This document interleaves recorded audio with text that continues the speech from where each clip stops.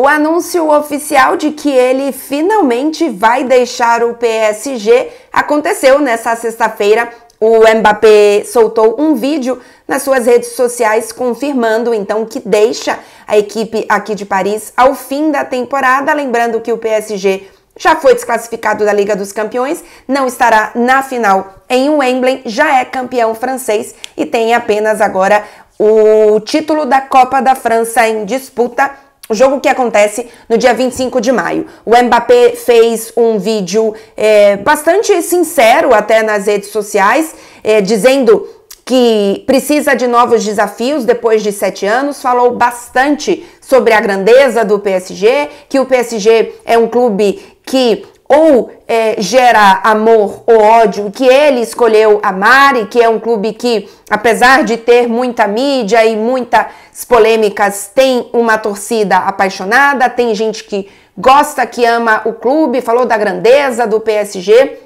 agradeceu, obviamente, todos os companheiros que já teve, agradeceu aos técnicos é, e me chamou a atenção, primeiro que ele fala que não imaginou que fosse ser tão difícil deixar o, o PSG e falou também é, quando se refere mais ou se dirige mais à torcida que ele sabe que ele nunca foi um dos jogadores mais demonstrativos, né, que mostrou mais o, o seu amor, enfim, o seu carinho, o que fosse pelo, pelo clube, e que nem sempre esteve à altura nestes sete anos, mas que nunca quis trair os torcedores. É, é, claro que é um discurso absolutamente controlado, o Mbappé fala exatamente o que ele quer falar, mas ainda assim é, é um discurso muito bem feito. O Mbappé, na minha opinião, é um, uma pessoa, né, não só um jogador, mas um, uma pessoa muito inteligente, ele programa muito bem as coisas. A gente sabe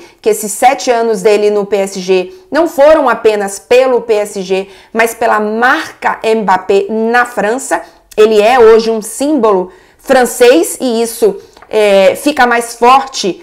ele estando num clube francês e na seleção francesa. Então ele criou uma marca muito forte na França, que eu acho que era um dos objetivos dele ao continuar no PSG, em outros anos em que se imaginou que ele teria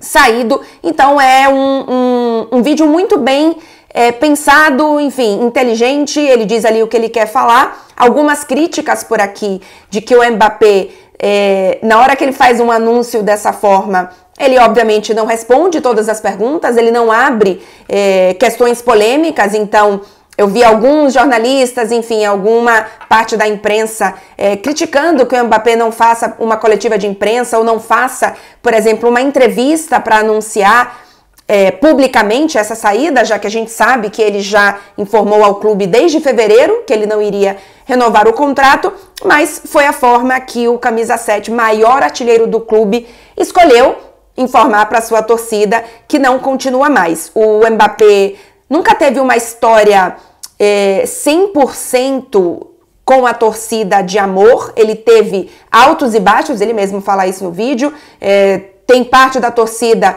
que já queria que o Mbappé tivesse saído antes, mesmo com, enfim, toda a qualidade que ele tem, por conta de toda a, a polêmica que ele já, já trouxe ao clube. Outra parte da torcida entende que ele fez o que ele pôde, que ele de fato foi um jogador que, que deu tudo que, que poderia dar ao PSG, mas a verdade é que, independente dessa opinião um pouco dividida de não ter sido sempre uma história de amor, em geral a torcida do PSG respeita muito o Mbappé por tudo que ele fez nos sete anos em que esteve por aqui. Ele foi um jogador que sempre esteve em campo, é, sempre um jogador que sempre respeitou o, o, o, clube, ainda que ele seja um jogador que tenha personalidade forte, que em certos momentos quis ah, os holofotes para ele, enfim, a gente sabe de diversos casos, mas é um jogador que sempre esteve lá. É um jogador que, no fim das contas, é, foi o artilheiro do time todos os anos, foi, foi, se tornou o maior artilheiro do clube nos sete anos em que esteve aqui e sempre se mostrou muito profissional. Talvez a torcida quisesse um pouco mais de, de paixão, de emoção do Mbappé, mas profissionalismo o Mbappé sempre mostrou e por isso a torcida tem, acima de tudo, um respeito muito grande por, pelo Mbappé, independente de ter aí mais amor, menos amor, querer que ele saísse ou não. É, a gente tem agora um PSG que perde nos últimos dois anos, né, as suas grandes estrelas. Perde, obviamente, o Neymar e o Messi na temporada passada, no início dessa temporada, e agora o Mbappé. A gente tem a informação de que o, que o PSG vai atrás de, de grandes personagens para esse próximo verão, tem orçamento para isso. Perdeu, perdeu não, né? Ganhou no, no espaço, na folha salarial, um, um espaço muito grande com a saída desses três jogadores e tem condição de trazer alguns jogadores importantes. Mas não parece que vai trazer jogadores que sejam é, já, por exemplo, é, players que estejam ali na briga por melhor é, jogador do mundo, jogadores que chegam maior do que o clube como já foi o caso, por exemplo, do Messi chegando aqui. Então, jogadores como Vinícius, Rodrigo, Kane, é, Bellingham, Haaland, estou citando aqui alguns jogadores que nesta temporada estão na briga pela bola de ouro, dificilmente virão para o PSG, não só porque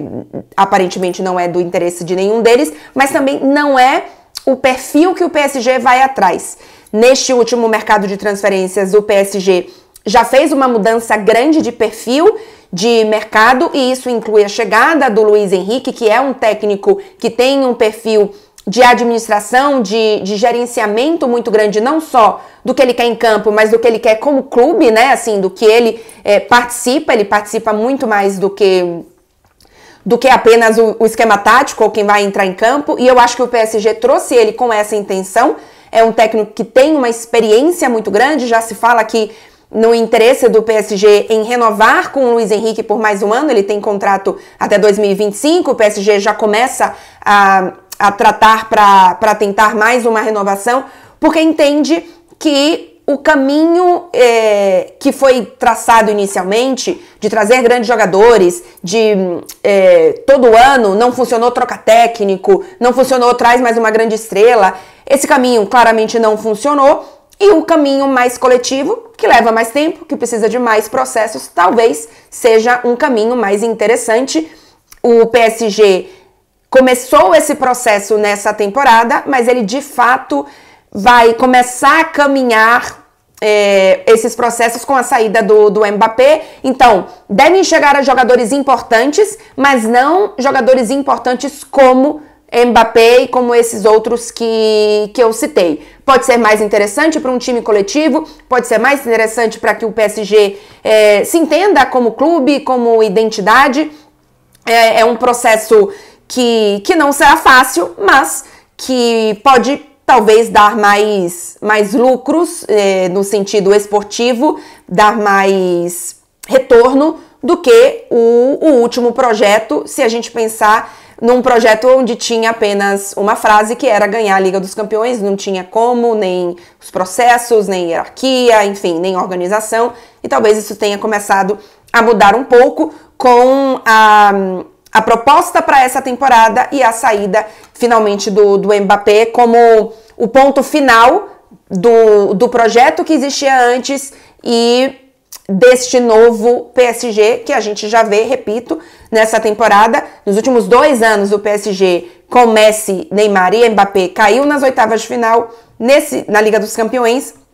Nessa temporada, com um time muito mais jovem, com um time muito mais mudado e com apenas uma estrela, que, que era o Mbappé, o time já chegou nas semifinais. Muita gente nem imaginava que nesse início de, de perfil de, desse projeto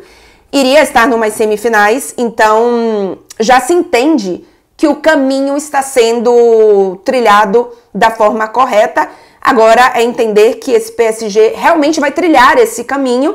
É, já falei isso aqui diversas vezes, enfim, é, sempre que tenho é, a oportunidade em discussões desse tipo. O PSG é um time muito novo, é um time que ainda está criando a sua identidade, é um time que nasceu em 1970, foi fundado em 1970 e que, obviamente, não tem a mesma tradição, a mesma história, as, os mesmos fracassos e as mesmas vitórias de times, de clubes centenários. Então, o PSG está fazendo o seu caminho, vamos ver onde que vai dar esse novo perfil sem o, o Mbappé. Lembrando, o PSG joga no domingo aqui no Parque dos Príncipes e será o último jogo do Mbappé diante da torcida. Depois ainda joga dois jogos fora de casa. Dificilmente o Mbappé deve entrar em campo. E a final da Copa da França, que não será disputada em Paris, será disputada em Lille. Portanto, neste domingo eh, teremos a despedida de Mbappé da sua torcida do Parque dos Príncipes e a torcida organizada do PSG, inclusive, já prepara algum tipo de homenagem ao camisa 7, que não vamos esquecer, em sete anos se tornou o maior artilheiro da história do clube aqui de Paris.